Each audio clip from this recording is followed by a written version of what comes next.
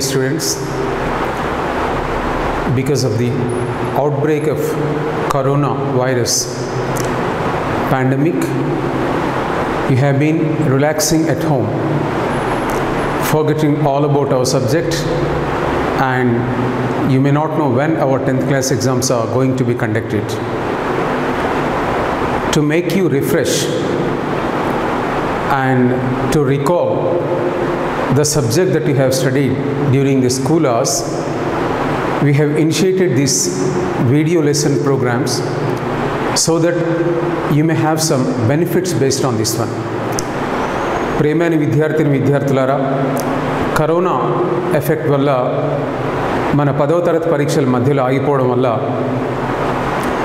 చాలా రోజుల నుంచి మీరు బడిలో చదివినటువంటి పాఠాలు కాస్త మర్చిపోయి ఉంటారనే ఉద్దేశంతో మీ యొక్క నాలెడ్జ్ని ఒకసారి రిఫ్రెష్ చేద్దామని మన సబ్జెక్ట్ మన స్కూల్లో డిస్కస్ చేసిన విషయాలన్నీ ఓసారి విహంగ వీక్షణం చేద్దామన్న ఉద్దేశంతో ఈ వీడియో లెసన్ ద్వారా మీ ముందుకు వచ్చే ప్రయత్నం చేస్తున్నాం ఈరోజు మనము ఇంగ్లీష్ సబ్జెక్ట్ గురించి మాట్లాడుకుందాం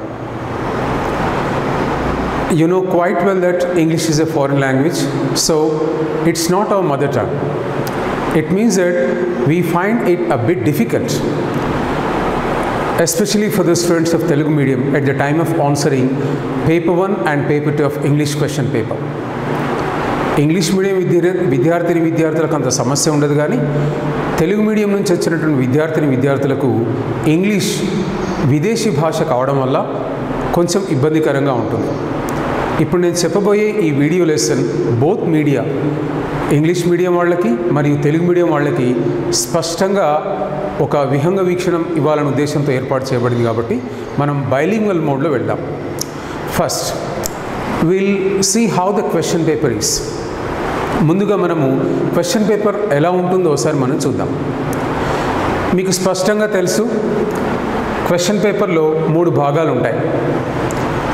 Section A section B and section C our question paper consists of three parts section a comprehension section b vocabulary and grammar section c creative writing that is discourses ఇక ఇవి ఇందులో ఏమొస్తాయి మీకు ఒకసారి తెలుసు అయినప్పటికీ కూడా ఒకసారి వీటి గురించి మనము స్పష్టంగా కొంచెం అవుట్లైన్ చూసే ప్రయత్నం చేద్దాం comprehension it comes in paper one and in paper two also paper వన్లో వస్తుంది పేపర్ టూలో వస్తుంది. Comprehension is of two types seen passages and unseen passages seen passage అంటే మీరు టెక్స్ట్ బుక్లో చదివినటువంటివి. రీడింగ్ ఏ రీడింగ్ బి లేదా రీడింగ్ సిలోంచి వస్తాయి. అన్సీన్ అంటే మీరు ఎప్పుడూ చూడనటువంటివి. ఏదైనా బుక్లోంచి కానీ ఏదైనా మ్యాగజైన్లోంచి కానీ లేదా ఎక్కడి నుంచి అయినా వాళ్ళు తీసుకొని మీకు కాంప్రహెన్షన్ క్వశ్చన్ రూపంలో ఇవ్వడం జరుగుతుంది. ఒకసారి ఎన్ని మార్క్స్ వస్తాయో కూడా చూద్దాం. కాంప్రహెన్షన్ లోపల పేపర్ వన్ పేపర్ టూ కలిసి థర్టీ మార్క్స్ వస్తాయి. అంటే పేపర్ వన్లో ఫిఫ్టీన్ మార్క్స్ పేపర్ టూలో ఫిఫ్టీన్ మార్క్స్ అంటే మన పేపర్ వన్ పేపర్ టూ కలిపి వచ్చే ఎయిటీ మార్క్స్ లోపల థర్టీ మార్క్స్ కాంప్రహెన్షన్కే ఉంటుంది. అంటే ఇది ఎంత ఇంపార్టెంటో దీన్ని బట్టి మనం అర్థం చేసుకునే అవకాశం ఉంటుందన్నమాట. ఫస్ట్ అసలు కాంప్రహెన్షన్ అంటే ఏంటి? కాంప్రహెన్షన్ మీన్స్ కాంప్రహెండింగ్ సంథింగ్ ఏదైనా గ్రహించడం. ఇప్పుడు మన సబ్జెక్ట్ ఇంగ్లీష్ కాబట్టి one passage is given in English so what you have to do you have to understand what the message is given in the passage అంటే ప్యాసేజ్లో ఉన్నటువంటి సమాచారం ఏంటనేది మీరు అర్థం చేసుకునే ప్రయత్నించాలి అర్థం చేసుకున్నప్పుడే మీకు ఇవ్వబడిన ప్రశ్నలు మీరు ఆన్సర్ చేయడానికి ఈజీగా ఉంటాయి.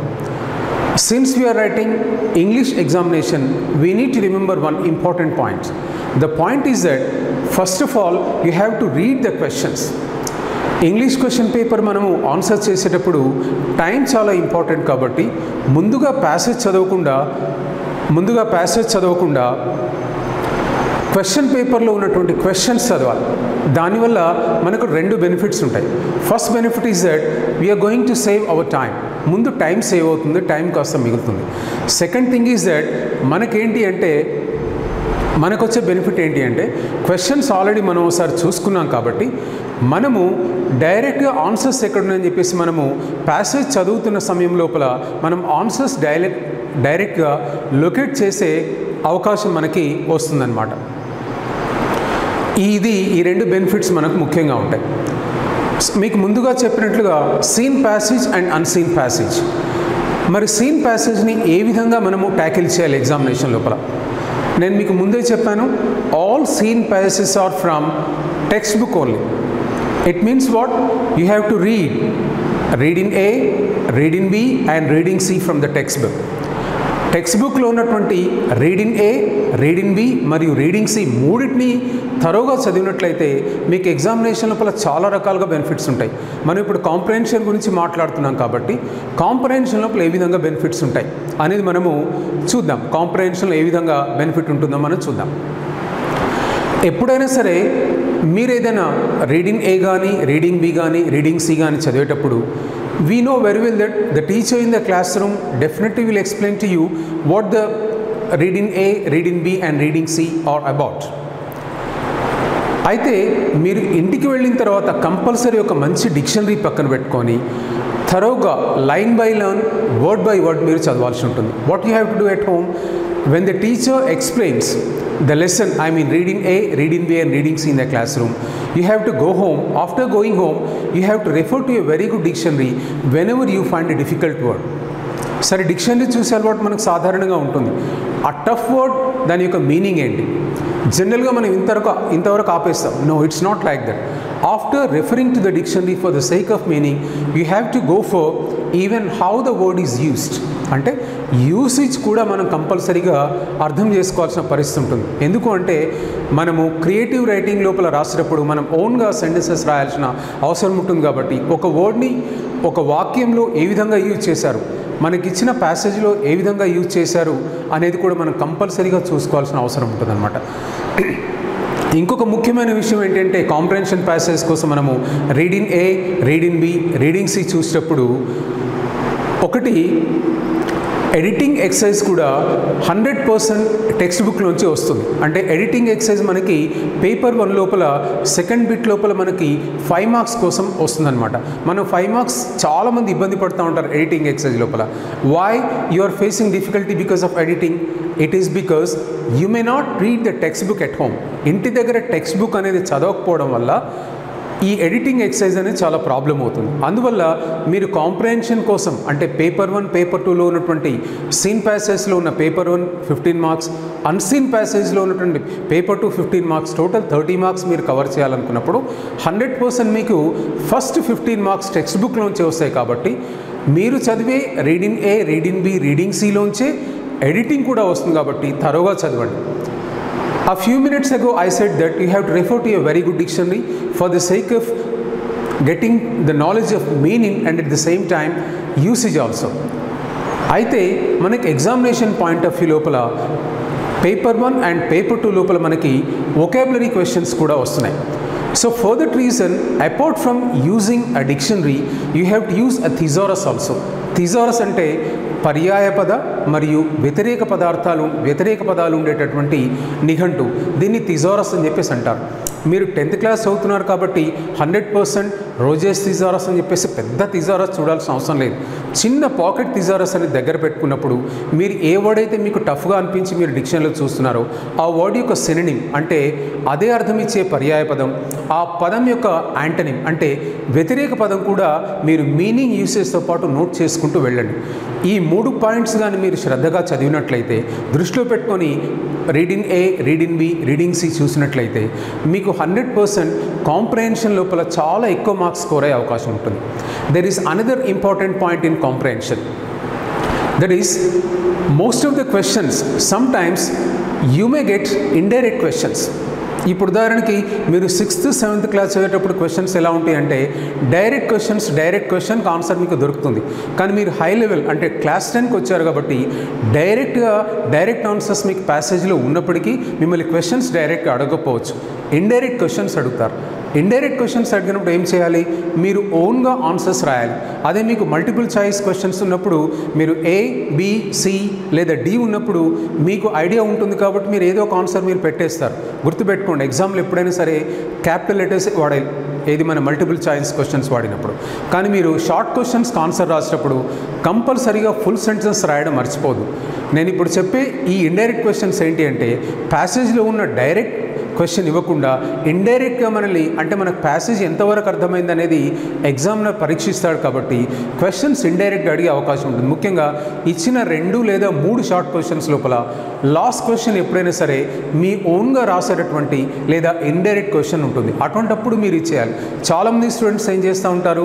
క్వశ్చన్ ఇండైరెక్ట్గా ఉన్నప్పటికీ లేదా ఓన్గా ఆన్సర్ రాయాల్సిన పరిస్థితి ఉన్నప్పటికీ కూడా ఆ ప్యాసేజ్ లోపల ఏముంది? కాంప్రహెన్షన్ ప్యాసేజ్ దీనికి సంబంధించిన పదాలు ఏముంటాయి? వాటిని తీసుకొచ్చి రాస్తూ ఉంటారు.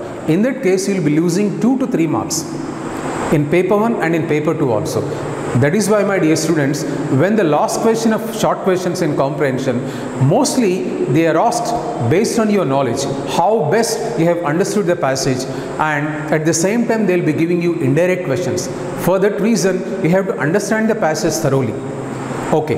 మరి ఇంటి దగ్గర ఉన్నప్పుడైతే మనం డిక్షనరీ పక్కన పెట్టుకొని reading A reading B readings చూస్తాం. But in examination hall you may not have any access to a dictionary or a thesaurus. మరి అటువంటిప్పుడు ఏం చేయాలి? అలాంటప్పుడు మీరు చేయాల్సిన పని ఏంటంటే you may find difficult word in the passage. For example ఒక కష్టమైన పదం ఒకటి మీకు ఎదురైంది. Then what you should do? You have to guess the meaning of the difficult word. ఆ ఇచ్చిన పదం యొక్క మీనింగ్ని గెస్ చేసే ప్రయత్నం చేయాలి. ఎలా గెస్ చేస్తారు?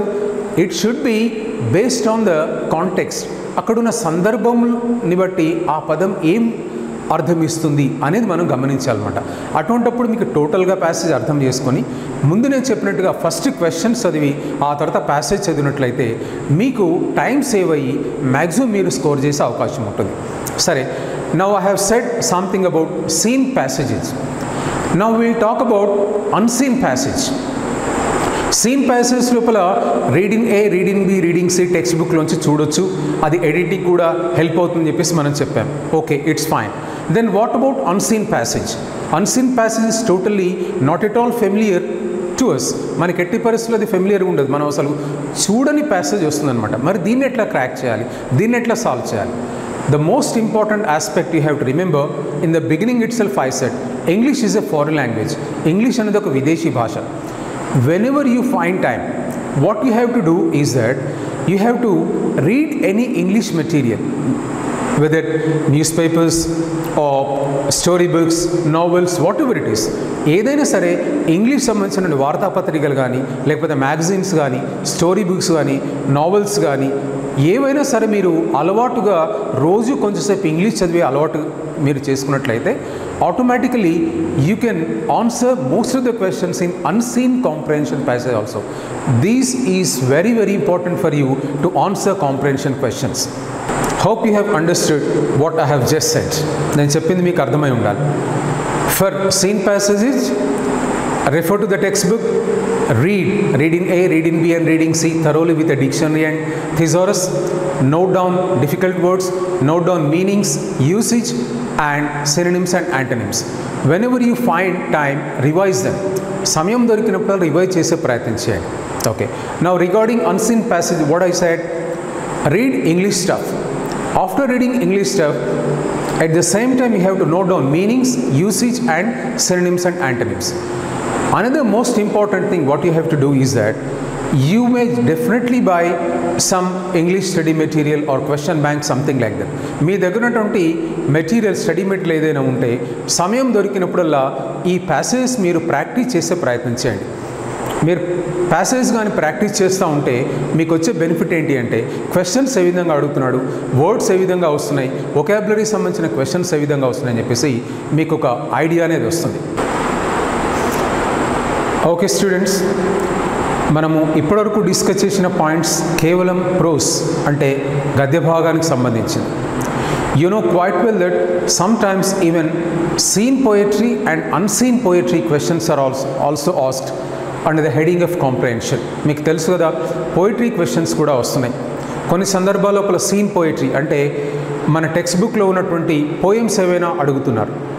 కొన్ని సందర్భాల లోపల ముఖ్యంగా పేపర్ టూలో అన్సీన్ పోయిటరీ కూడా అడుగుతున్నారు. It is a general conception that poetry is a bit tough to understand సాధారణంగా మనకి ఏమనిపిస్తుందంటే ప్రోజే మనకు కొంచెం అర్థం కాని పరిస్థితి ఉంటుంది మరి పోయిటరీ ఇంకా కష్టం కదా అని చెప్పేసి.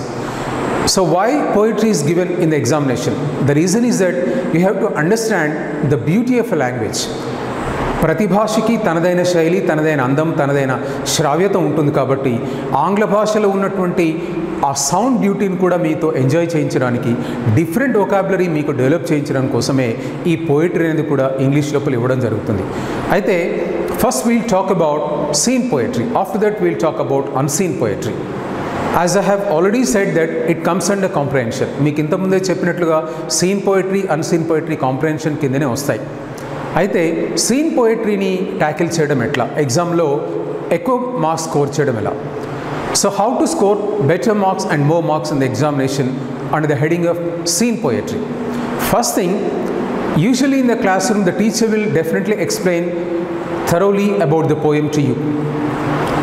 After that, what you have to do, you have to refer to a very good dictionary and try to grasp the meaning of the poems. మీకు క్లాస్ రూమ్లో టీచర్ చక్కగా ఎక్స్ప్లెయిన్ చేసినప్పటికీ పోయిటరీని మీరు ఇంటికి వెళ్ళిన తర్వాత చాలా జాగ్రత్తగా మీరు ఆ పోయంని అర్థం చేసుకోవాలి.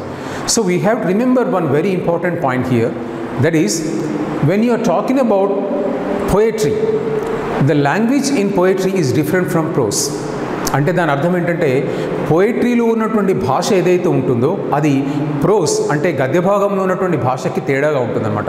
వర్డ్ ఆర్డర్ అంటే ఒక వాక్యంలో యొక్క పద నిర్మాణం కూడా వ్యతిక్రమంలో ఉండే అవకాశం ఉంటుంది. Sometimes the words are completely different కొన్ని సందర్భాల డిఫరెంట్ వర్డ్స్ యూజ్ చేస్తూ ఉంటారు. Those words are not at all used in English prose or those words are not at all used in English spoken English also సాధారణంగా మన నిత్య జీవితంలో వాడని పదాలు కూడా వాడుతూ ఉంటారు పోయిటరీ లోపల. For that reason you have to be a bit more more alert అందుకనే మనం కొంచెం ఎక్కువ జాగ్రత్తగా పోయిటరీని చదవాలి. That is why after the completion of teaching a poem in the classroom you may find so many doubts. You may have so many doubts based, based on poetry. That is why please clarify the doubts with your teacher then and there సాధారణంగా poetry చెప్పినప్పుడు ఎలా ఉంటుందంటే అప్పటికి విన్నప్పుడు అర్థమైనట్లుగానే ఉంటుంది కానీ మీరు ఇంటి దగ్గర చదివితే కొన్ని డిఫికల్ట్ వర్డ్స్ డిఫికల్ట్ యూసేజ్ కనిపిస్తూ ఉంటుంది. వాటి కొన్ని సందర్భాల్లో డిక్షనరీలో సాధారణ డిక్షనరీలో మీనింగ్స్ కూడా దొరకపోవచ్చు. దట్ ఈస్ వై అండ్ మీరేం చేస్తారు అంటే టీచర్ని అడిగి ఆ డిఫరెంట్ వర్డ్స్ మీరు ఆ డిఫికల్ట్ వర్డ్స్ ఏవైతే ఉన్నాయో డిఫరెంట్గా ఉన్నాయో వాటి యొక్క మీనింగ్స్ ఇచ్చేసి తెలుసుకునే ప్రయత్నం చేయాలి. అవి ఏ విధంగా వాడారో కూడా తెలుసుకోవాలన్నమాట. సో ఇంకా నెక్స్ట్ విషయం మీరు గుర్తుపెట్టుకోవాల్సిన విషయం ఏంటి అంటే ఈ పోయిట్రీ లోపల సింబాలిజం ఉంటుందన్నమాట. అంటే ఒక విషయాన్ని చెప్పదలుచుకున్నప్పుడు పోయట్ ఏం చేస్తాడంటే లేదా పోయిటస్ ఏం చేస్తుందంటే డైరెక్ట్గా చెప్పకుండా ఇండైరెక్ట్గా మీకు చెప్తా ఉంటారు. It means there is some sort of hidden message in the poem అంటే అంతర్లీనంగా పైకి కనిపించే అర్థం ఒక రకంగా కనిపించిన అంతర్లీనంగా ఉండేటువంటి అర్థం ఇంకోటి ఉంటుంది. And at the same time at the time of reading poetry you have to understand the inner meaning of the poetry also I mean what is the inner meaning of the poem given in the exam or in the textbook అందుకని అసలు అంతరార్థం ఏంటో తెలుసుకునే ప్రయత్నం చేయాలి. అది చాలా ముఖ్యం. Apart from that there is one more most important point at the time of dealing with poetry, seen or unseen. That is the usage of figures of speech poetry మనం డీల్ చేస్తున్నప్పుడు సీన్ ప్యాసేజ్ సీన్ పోయం అయినా సరే unseen poem అయినా సరే మనం deal చేస్తున్నప్పుడు ఒక ముఖ్యమైన విషయం మనం గుర్తుపెట్టుకోవాలి అదేంటి అంటే అలంకారాలు అంటారు తెలుగు లేదా సంస్కృత వ్యాకరణం లోపల. దాన్ని ఇంగ్లీష్ లోపల ఫిగర్స్ ఆఫ్ స్పీచ్ అని చెప్పేసి అంటారు. ఆ ఫిగర్స్ ఆఫ్ స్పీచ్ పైన క్వశ్చన్స్ మనకి వస్తూ ఉంటాయి. కాబట్టి మీ క్లాస్ రూమ్ లోపల టీచర్ మీకు ఎక్స్ప్లెయిన్ చేసినప్పుడు లేదా మీరు ఓన్గా ఇంటి దగ్గర పోయిటరీ చదువుతున్నప్పుడు అందులో ఏం ఫిగర్ ఆఫ్ స్పీచ్ అంటే ఉపమాలంకారం ఉదాహరణకి ఇంగ్లీష్లో దాన్ని సెమిలి అంటారు రూపకాలంకారం దాన్ని ఇంగ్లీష్లో మెటఫర్ అంటారు. ఇట్లా రకరకాల అలంకారాలు ఇంగ్లీష్ లోపల కూడా ఉంటాయి కాబట్టి వాటిపైన దృష్టి ఉంచడం కూడా చాలా కంపల్సరీ అనమాట ఇప్పుడు నేను మీకు కాంప్రహెన్షన్ అనే దాంట్లోపల పేపర్ వన్ మరియు paper two fifteen plus fifteen thirty marks గురించి మీకు ఓవరాల్ ఐడియా ఇచ్చాను. Reading A reading B reading C seen poetry unseen poetry అదేవిధంగా seen comprehension passages unseen comprehension passage చివరిగా మీకు అన్సీన్ పోయిటరీని ఎట్లా ట్యాకిల్ చేయాలి? దానికి ముఖ్య సూత్రం ఏంటి అంటే మీరు ప్రీవియస్ క్లాసెస్ లోపల చదివిన పోయమ్స్ కానీ అంటే ఐ మీన్ ఇంగ్లీష్ పోయమ్స్ లేదా ఎక్కడైనా మీకు ఇంగ్లీష్ పోయిటరీ ఎదురైనట్లయితే దాన్ని చదివి అర్థం చేసుకునే ప్రయత్నించాలి it means what apart from the textbook you have to go through some poetry of unseen poems also generally for example your the students of class ten you take the example of class 9 class 8 class 7 or class 6 in those textbooks also you have some poems. మీరు తొమ్మిది ఏడు ఆరు తరగతి లోపల ఉన్నటువంటి ఎనిమిది తరగతిలో ఉన్నటువంటి ఇంగ్లీష్ పోయిమ్స్ మీరు చూసినట్లయితే మీరు జాగ్రత్తగా మీరు అనలైజ్ చేయాలన్నమాట. అనలైజ్ చేస్తే పోయిటరీలో వర్డ్స్ ఏ విధంగా యూజ్ చే చేయబడినవి? క్వశ్చన్స్ ఏ విధంగా అడుగుతున్నారు? అని చెప్పేసి మీకు ఒక ఐడియా వస్తుంది. ఇంతకుముందు కాంప్రహెన్షన్ ప్యాసేజ్ చెప్పినట్లుగానే here also you have to refer to the questions first try to understand the question correctly question మీరు ఎప్పుడైనా సరే కరెక్ట్ అర్థం చేసుకోవాలి. After reading to the reading the questions only go to the poem then only you can save a lot of time in the examination to to score better marks and at the same time to save your valuable time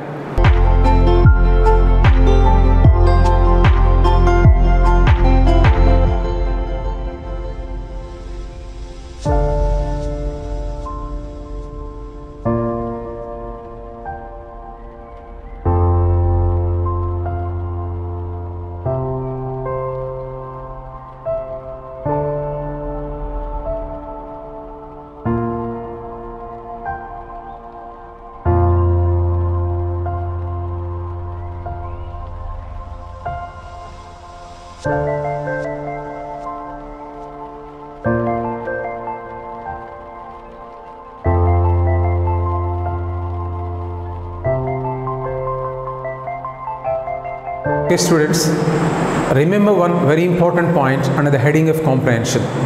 Practice as many passages as possible. Practice as many poems as possible because practice only makes a student perfect even for the examination point of view also. అందుకే మీరు ఏం చేయాలంటే ఎంత ఖాళీ సమయం దొరికితే అంత ఖాళీ సమయం లోపల కాంప్రహెన్షన్ ప్యాసేజ్ని ప్రాక్టీస్ చేస్తూ వెళ్ళండి passage at the same time poetry also seen passage unseen passage seen poems and unseen poems ఎన్ని ఎక్కువ ప్రాక్టీస్ చేస్తే మీకు అంత బెనిఫిట్ అయ్యే అవకాశం ఉంటుంది Okay, dear students, so far we have talked about how to deal with comprehension. I have just given you some sort of advice, that's all. Nothing practical, only oral advice. గత కొద్దిసేపటిగా నేను మీకు చెప్పింది ఏంటి? కేవలం మౌఖికంగా ఈ విధంగా చేయాలి ఈ విధంగా చేయాలని కేవలము మాట రూపంగా నేను మీకు సలహా ఇవ్వడం జరిగింది.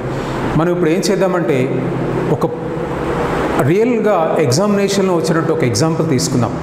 ఒక పోయిటరీ ఐటమ్ ఒక కాంపరెన్షన్ ప్యాసేజ్ ఐటమ్ మనం చూస్తే క్వశ్చన్స్ ఏ విధంగా అడిగే అవకాశం ఉంటుంది మనం ఏ విధంగా దాన్ని డీల్ చేయాలనే విషయము ఎవ్రీథింగ్ ఎవ్రీ క్వశ్చన్ డిస్కస్ చేయకపోయినా ఒక అవుట్లైన్ లాగా మనం డిస్కస్ చేద్దాం. ఫస్ట్ మనం ఏం చేద్దామంటే కాంప్రిహెన్షన్ ప్యాసేజ్ చూడండి ఇది సీన్ ప్యాసేజ్ అంటే మన టెక్స్ట్ బుక్లోంచి వచ్చినటువంటి ప్యాసేజ్ అనమాట ఇది మార్చ్ టూ థౌజండ్ సిక్స్టీన్లో వచ్చింది. మీరు చూడండి ఇక్కడ మీకు కనపడుతుంది. మై చైల్డ్హుడ్ మనకి ఏపీజే అబ్దుల్ కలాం లెసన్ గుర్తుంది కదా? ఆ లెసన్లోంచి ఇది ఇవ్వడం జరిగిందనమాట dear students look at this passage. It has been taken from the question paper of March two It sixteen taken from my childhood. I think I think very well it well APJ Abdul APJ Abdul Kalam's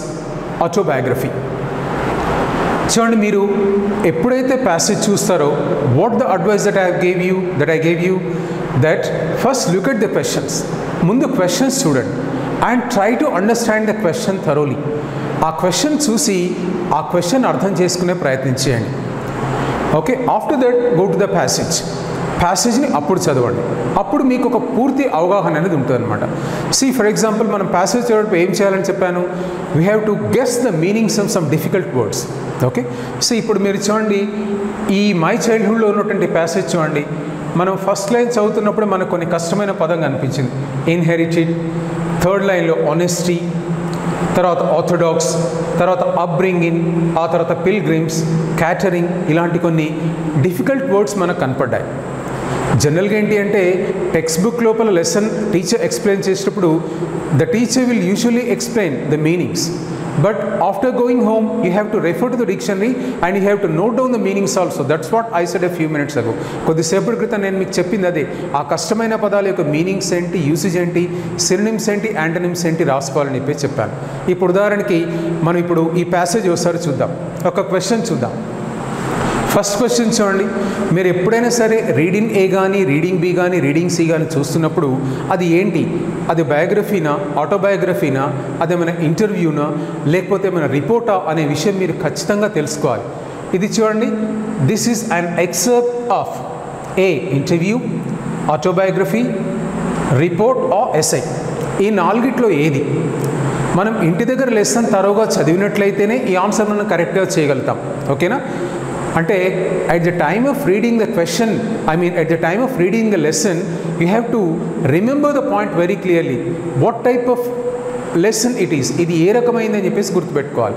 ఇక్కడ చూడండి దీని concept మీకు ఈజీగా తెలుస్తుంది. That is B that is autobiography అంటే తన యొక్క జీవిత కథను తన యొక్క ఆత్మకథను ఏపీజే అబ్దుల్ కలాం రాస్తున్నారు కాబట్టి ఈ ఆన్సర్ అనేది కరెక్ట్ మనకి ఎప్పుడు కేవలం ఈ ప్యాసేజ్ చదివితే కాకుండా ఇంటి దగ్గర ఈ లెసన్ తరోగా చదివినట్లయితే టీచర్ చెప్పిన విషయం మనం బాగా గుర్తున్నట్లే గుర్తున్నట్లయితేనే ఈ విషయం బాగా గుర్తుంది. That's why my dear students please read the lesson thoroughly at home ఒక షార్ట్ ఆన్సర్ క్వశ్చన్ చూడండి ఏముందో?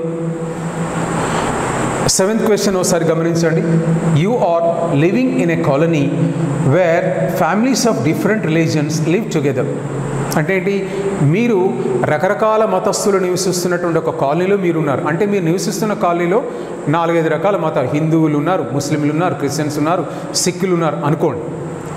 What factors do you think help you to live together అంటే అర్థమేంటి ఆ క్వశ్చన్ మీకు అర్థం కావాలి.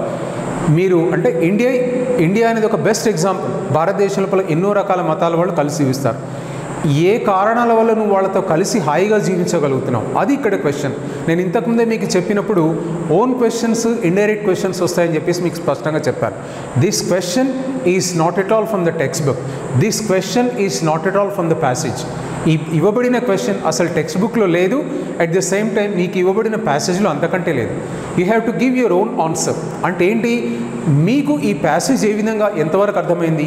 మీ ఓన్ థాట్స్ ఏంటి? దాన్ని మీరు గ్రామాటికల్గా కరెక్ట్గా మీరు సెంటెన్స్లు వర్డ్స్ యూజ్ చేస్తున్నారని టెస్ట్ చేయడం కోసం ఇలాంటి క్వశ్చన్స్ అడుగుతారు. కాబట్టి క్వశ్చన్స్ అన్నీ ప్యాసేజ్లోంచే వస్తాయనుకోవడం చాలా పొరపాటు. ఓన్గా కూడా ఇలాంటి క్వశ్చన్స్ని ఆన్సర్ చేయాల్సిన పరిస్థితి ఉంటుంది. ఇప్పుడు మీకు అర్థమే ఉండాలి ఏంటి అనేది. ఇప్పుడు ఉదాహరణకి మీరు చదువుతూ ఉన్నారు. ఉదాహరణకి ఒక రెండు వర్డ్స్ చూద్దాం. ఇప్పుడు ఉదాహరణ అప్బ్రింగింగ్ అనే పదం ఉంది. ఆ అబ్ అప్బ్రింగింగ్ అంటే ఏంటి? హండ్రెడ్ పర్సెంట్ మనం మీనింగ్ గెస్ చేయాలి. ఇప్పుడు మీరు చూడండి. What's the meaning of upbringing the way of the way how a child is brought up ఒక పిల్లవాడు లేదా ఒక పిల్లని చిన్నప్పుడు ఏ విధంగా పెంచుతారు? అంటే తల్లిదండ్రులు పిల్లల్ని పెంచే విధానం అనమాట దాన్ని అబ్రింగింగ్ అంటారు. అదేవిధంగా ప్రతి టఫ్ వర్డ్ యొక్క మీనింగ్ ఏంటి మనం గెస్ చేయగలగాలి ఉదాహరణకి ఇంకోటి చూడండి. ఇన్హెరిట్ అంటే ఏంటి? To so to have similar qualities of one's ancestors మన పూర్వీకుల నుంచి మనకు వచ్చే అనువంశిక లక్షణాలు వచ్చేదాన్ని ఇన్హెరిట్ అనే క్రియ రూపంలో మనం ఇచ్చేస్తూ ఉంటాం అనమాట ఇప్పుడు ఈ ప్యాసేజ్ చదివి ఈ వర్డ్స్ యొక్క మీనింగ్ కూడా మనం గెస్ చేసి ఇవ్వబడిన క్వశ్చన్స్ని జాగ్రత్తగా అర్థం చేసుకొని మనం కరెక్ట్గా ఆన్సర్ చేయగలిగినప్పుడు మనకి టోటల్ మార్క్స్ వచ్చే అవకాశం ఉంటుంది. చూడండి ఇది రెండు వేల పదహారు మార్క్స్లో వచ్చినటువంటి క్వశ్చన్ ఇప్పుడు మీకు అర్థమే ఉండాలి. Hundred percent reading A reading B reading సిలోంచి comprehension questions రిపీటెడ్గా వస్తూ ఉంటాయి. ఇప్పుడు మనం ఒకటి అన్సీన్ పోయిటరీ గురించి కూడా మనం డిస్కస్ చేశాం కదా. ఇప్పుడు మనం ఒక అన్సీన్ పోయం చూద్దాం. ఇది ఎప్పుడు వచ్చింది టూ థౌజండ్ ఫిఫ్టీన్ జూన్లో వచ్చింది. See look at this unseen poem this has come this has been taken from the question paper of June two thousand fifteen from paper two మీరు గమనించండి ఇక్కడ కూడా నేను మీకు చెప్పాను. Sometimes you may be ask some own questions also the answer may not be found in the poem కొన్ని సందర్భాలు ఎలా ఉంటుంది? మనం ఇంతకుముందు కాంప్రహెన్షన్ ప్యాసేజ్లో మై చైల్డ్హుడ్లో చూసినట్టుగా క్వశ్చన్స్కి ఆన్సర్స్ డైరెక్ట్గా మీకు పోయంలో దొరకపోవచ్చు. మీరు ఎంతవరకు ఆ పోయంని అర్థం చేసుకున్నారు అన్న విషయాన్ని ఈ పరీక్ష నిర్వహించే వ్యక్తి పరీక్షించగోరుతాడు కాబట్టి they will definitely check how best you have understood the given poem or the given passage ఉదాహరణకు మీరు గమనించండి ఈ పోయంను ఒకసారి జాగ్రత్తగా అబ్జర్వ్ చేయండి. చాలా simple poem only three stanzas ఉన్నాయి. There are four chairs round the table where we sit down for our tea, but now we only set places for mom, Terry, and me.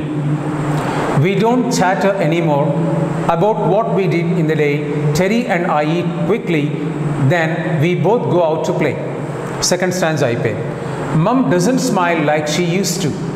Often she just sits and sighs. Sometimes I know from the smudges that while we're out she cries చాలా సింపుల్గా ఉంది ఈ poem చూడడానికి. కానీ దాని యొక్క meaning మీకు అర్థం కావాలి. ఇక్కడ మీరు చూడండి కొన్ని టఫ్ వర్డ్స్ ఉన్నాయి. చాటర్ అంటే ఏంటి? సాయ్ అంటే ఏంటి? స్మజ్ అంటే ఏంటి? చాటర్ అంటే మనం మాట్లాడతాం టైంపాస్ కాకపో మామూలుగా మాట్లాడుతూ ఉంటుంది దాన్ని చాటరింగ్ అని చెప్పేసి అంటారు. చాటర్ అని చెప్పేసి అంటారు. మీరు చూడండి బాగా మాట్లాడే పిల్లల్ని చాటర్ బ్యాగ్స్ అని చెప్పేసి అంటారు. దాన్ని సాయి అని చెప్పేసి అంటారు. అంటే ఇక్కడ మదర్ సాయి అంటే మదర్ దేని గురించో కొంచెం బాధగానో విచారంగానో నిట్టూరుస్తుందని అర్థం చేసుకోవాలి. స్మజ్ స్మజ్ అంటే మరక. మనం ఏదైనా ఉదాహరణకి ఇప్పుడు నా చేతిలో ఉంచండి నేను ఒక చాక్ పీస్ వాడుతున్నాను. You can see the smudge of the piece of chalk ఇది స్మజ్ అంటే అంటే ఆమె యొక్క ముఖం పైన ఏదో మరక కనపడుతోంది. అంటే ఈ పోయంను మనం స్పష్టంగా అర్థం చేసుకోవాలి. మీనింగ్ ఏంటి? ఇండైరెక్ట్గా పోయంలో డైరెక్ట్గా ఆమె దేని గురించి బాధపడుతుందో it is not at all clearly shown the poem is indirectly explaining about something that mother is feeling very sad about something దేని గురించో మదర్ బాధపడుతుందనే విషయం మనకి చూడగానే అర్థం చేసుకునేటట్లు మనం బాగా అర్థం చేసుకొని చదవాలి. ఉదాహరణ చూడండి రెండు మూడు క్వశ్చన్స్ చూద్దాం. But we only set places for mom TERI and me what do think is a fourth person who do you think is the fourth person ఇక్కడ చూడండి ఫోర్ చైర్స్ అని చెప్పేసి రాయబడి ఉంది. కానీ ఇవ్వబడిన క్యారెక్టర్స్ అన్నీ మామ్ అమ్మ ఉంది చెరి అనేవాడు ఉన్నాడు ప్లస్ మీ అంటే నేను అంటే రచయిత లేదా రచయిత్రి ఎవరో ఒకరు. అంటే ముగ్గురు అంటే ఫోర్త్ చైర్ కూడా ఉంది. ఇంకోటి ఏంటి ఈ పోయం లోపల mother is sad about something అమ్మ దేని గురించో లేదా ఎవరి గురించో బాధపడుతున్నట్టు స్పష్టంగా మనకు తెలుస్తుంది. అంటే one person is missing. Four chairs ఉన్నాయి క్యారెక్టర్స్ అక్కడ ముగ్గురు ముగ్గురే కనిపిస్తున్నారు మనకు ఫస్ట్ స్టాండ్ లోపల. అంటే దెర్ ఈజ్ సంథింగ్ ఏదో సంథింగ్ బ్యాడ్ జరిగింది. చూడండి ఆన్సర్ చూడండి. The poet himself already me అంటేనే పోయట్ కాబట్టి ఇది తప్పు.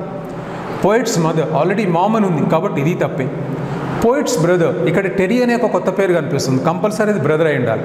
So what is the correct answer poet's father అంటే ఈ పోయిట్ అంటే ఈ డెరెక్స్ వాట్ పోయిట్ యొక్క ఫాదర్ చనిపోయారు. అందుకనే వాళ్ళమ్మ బాధపడుతుందన్నమాట. ఆ విధంగా ఇంటర్నల్గా ఉన్నటువంటి మీనింగ్ని మనం అర్థం చేసుకోగలగాలి. That is very very important at the time of dealing with poetry మీరు చూడండి ఒక క్వశ్చన్ చూద్దాం. ఇక్కడ త్రీ క్వశ్చన్స్ ఉన్నాయి. How does the poet know that his mother cries ఈ రచయితకి వీళ్ళు బయటకు వెళ్ళినప్పుడు ఈమె ఏడుస్తుందని చెప్పేసి ఎలా తెలుస్తుంది? ఆన్సర్ చూడండి. The stains or smudges on mom's face make the poet knows that his mother cries వీళ్ళు పిల్లలు బయట ఇక్కడ స్పష్టంగా ఉంది చూడండి లాస్ట్ లైన్లో that while we are out she cries అని ఉంది. అదే లైన్లో పైన మీరు చూడండి sometimes I know from the smudges అంటే మేము బయటికి వెళ్ళినప్పుడు అమ్మ ఏడుస్తుంది అని మాకు ఎట్లా తెలుస్తుంది అంటే ముఖం పైన మరకలు. స్మజ్ అంటే మీకు ఇంతకుముందే చెప్పాను ఒక మరక. ఇప్పుడు మీకు నేను చూపించినట్టుగా I'm using a piece of chalk దాని యొక్క మరక స్మజ్ లేదా దీని స్టెయిన్ లేదా మరక అంటారనమాట ఏడ్చినట్టు చారికలు ముఖం పైన కనపడుతున్నాయి. అంటే ఏంటి? ఈ క్వశ్చన్ అర్థం చేసుకొని ఆన్సర్ రాయాలంటే మీకు టోటల్గా పోయం అర్థం కావాలి. ఈ విధంగా సీన్ ప్యాసేజ్ అయినా కావచ్చు లేదా అన్సీన్ పోయం అయినా కావచ్చు లేదా అన్సీన్ ప్యాసేజ్ అయినా కావచ్చు టోటల్గా మీరు మీనింగ్ అర్థం చేసుకున్నట్లయితే టోటల్ మార్క్స్ స్కోర్ చేయాలి చేసే అవకాశం ఉంటుంది.